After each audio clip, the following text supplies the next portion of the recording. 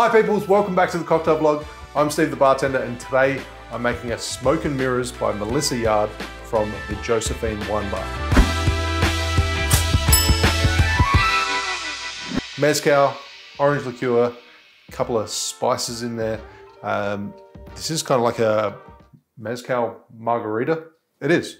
Mezcal margarita with ginger syrup, spices, and jalapeno. So I'm excited. I love margaritas. I love spicy margaritas. I love smoky margaritas with mezcal. So this is going to be this is going to be a winner. Um, I'm going to do things the correct way and crack my egg first. I normally do it last, and surprisingly, no one's called me up on it. But of course, most people do their cheapest ingredients first, cheapest to most expensive, just in case they make a mistake. That way you haven't wasted any ingredients. Um, I've always been in the mindset, I'm like, just don't make a mistake. Oh, that sounds, yeah, it sounds arrogant, but no.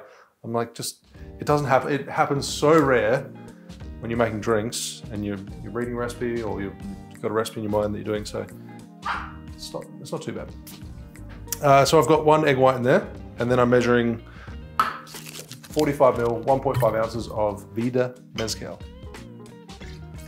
45 one ounce, and then your choice of orange liqueur. This particular recipe, uh, I think I found it on imbibe.com, didn't call for an orange liqueur. I literally just got this yesterday. Uh, Clement, which is uh, a French Caribbean orange liqueur, and it's made with a rum agricole, a whole bunch of different spices, and it is amazing. It's the first time I've had it. I keep seeing it around, and it's exceptional. It's delicious. 15 ml, half an ounce. So I figure because we're already using some spice, you got smoke from the mezcal, you got some jalapeno in this one, um, some ginger. I feel like those particular flavors will go well with this orange liqueur and those spices that are featured in it. Uh, then we have ginger syrup, 15 ml, half an ounce. And it looks pretty cloudy because it's unfiltered. 15 ml, half an ounce of pineapple syrup. I'll leave a link to the pineapple syrup in the description below. Please note that it's only available for Patreon uh, supporters. Now this is unfiltered and there's a lot of ginger in my ginger syrup, so I'm just gonna go for three slices of jalapeno. I, I think there's enough spice, enough heat in there already that that's gonna be perfectly fine. Lots of ice into the cocktail shaker and shake for 12 or 15 seconds. And you should dry shake first. I'll reverse dry shake. I've always been in the mindset, I'm like, just don't make a mistake. It doesn't happen, it happens so rare when you're making drinks.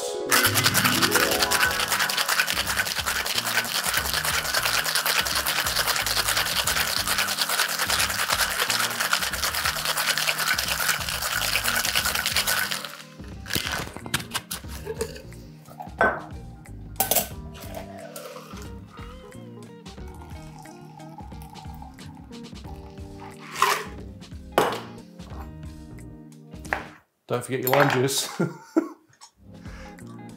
I love how I was just talking about making mistakes and how it rarely happens. that was just karma. so 30 ml, one ounce of lime juice.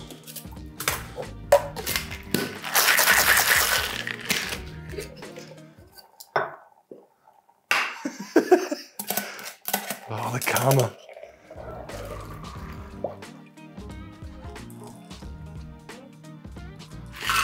So a lot of people swear by the reverse dry shake. They think it gives a superior foam to a cocktail, but I think it's a little bit counterintuitive normally because I've just made the cocktail as cold as I can and now I'm putting my warm hands with no ice and I'm warming that cocktail just a little bit. So that's why I usually prefer not to do it, but it does make a really good foam. So double strain into that chilled coupe. And I'm sure you can see on camera that it does make a superior foam. Like reverse dry shaking works really well. Now for garnish, this one calls for a one to one to one ratio of sugar, salt, and cayenne pepper. Just sprinkle on the top. So in this one, there's spice in the orange liqueur, you got the smoke from the mezcal, you've got spices from the ginger syrup, spice from the jalapeno. So this should be a winner. I can see from that reverse dry shake that the the foam is really tight. There's like lots of small bubbles as opposed to big bubbles. So the retention on that foam will be really good. Cheers.